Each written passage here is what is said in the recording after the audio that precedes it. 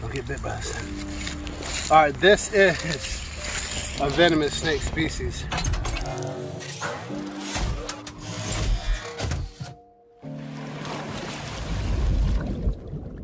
I have passion for wildlife. That also describes the Great Outdoors channel and my mission to understand and ultimately protect and preserve wildlife wherever it needs protection. I will in many cases film from a distance in order to preserve the moments and ultimately have as little of an impact on the places I explore as possible. However, when it comes to things that need a bit more appreciation, ironically, the things that we often fear or are misunderstood, I will be getting hands on so, like the people who inspired me to ultimately lose my fear of things I didn't understand, like spiders, scorpions, and centipedes, I can show that their true intentions have never been to cause any harm or fear. Yet to survive to the best of their abilities, I strive to prove that all creatures still play a crucial part in our delicate, precious ecosystem. Some of my first memories include wildlife, both intentionally and unintentionally. I have encountered a lot of it. Right there we have a little coot taking off for flight. And just below that, this is the American alligator. Born and bred in the swamp. We will be getting hands on with some of the most feared creatures in the animal kingdom. My name is Alex, the Florida Wildlife Guy, and this is the coral snake. Don't get bit by this. Alright, this is a venomous snake species. Red on black, Brenda Jack, red on yellow, kill a fellow. Now you can also distinguish coral snake from scarlet king snake by the blunt curvature of the face. Scarlet king snakes tend to have a four pointed nose. This is a subterranean species, likes to live under the ground, so seldomly is spotted. It is related to the sea snake, not the pit vipers, which consist of all the other venomous snake species here in Florida. This one, however, is not a pit viper. Coral snakes have the second most potent venom of any snake in the world. However, there have been zero reported deaths from the western coral snake. Unlike all other terrestrial venomous snakes in North America, coral snakes don't have large fangs like pit vipers we find in North America. Coral snakes are the only venomous snake native to Florida that is not a member of the pit viper family. Coral snakes have a very low venom yield. Coral snakes can deliver up to 20 milligrams of venom, while it only takes 4 or 5 milligrams to kill a human. However, Pit vipers can deliver 1400 milligrams of venom, and on average 450 milligrams of venom are delivered, enough to kill a human. However, in the US, on average, only 6 people die a year.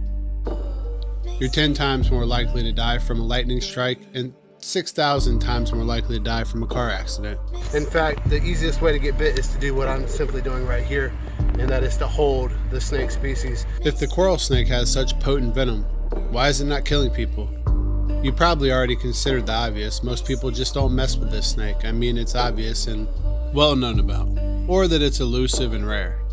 Regardless, a snake like this with these bright colors is on most herpetologists' checklist of reptiles they have to experience in the wild.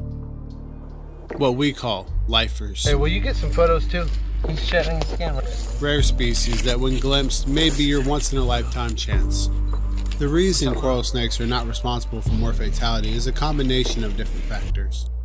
The obvious ones we talked about, and the fact that they have a very low venom yield, combined with a very poor venom delivery system.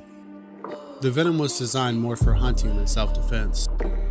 Used to subdue prey, it's basically an extremely potent venom laced saliva that is transmitted through wounds caused by chewing motion, created by the coral snake's fixed teeth, totally different than all the other venomous snakes here in Florida.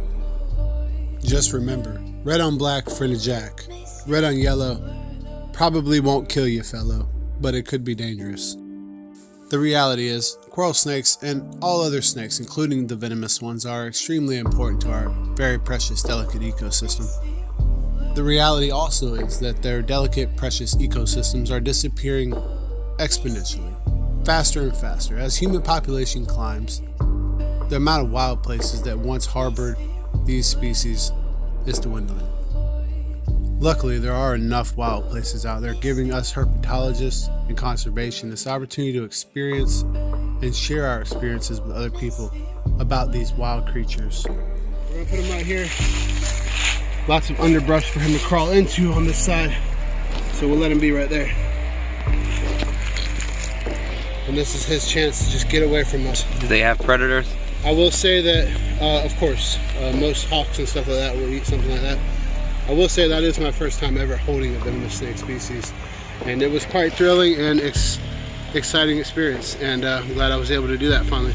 Uh, this is one that I felt more comfortable holding than any other like pit viper or something like that. So, and that's the first one I've ever caught. So that's pretty cool too. I've never actually caught a coral snake. I've seen dead. Oh man, it's another casualty of the ones and stuff like that but to be able to catch one was a true honor. Make sure y'all like this video and subscribe to the channel if you uh, like stuff like this.